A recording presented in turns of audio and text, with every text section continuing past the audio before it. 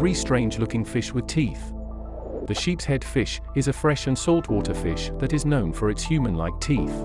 The Atlantic wolffish is quite a creepy-looking fish that can grow up to 1.5 meters in length. The tigerfish is pretty terrifying to look at. The largest species can grow to be 1.8 meters and each of its teeth can be up to an inch long.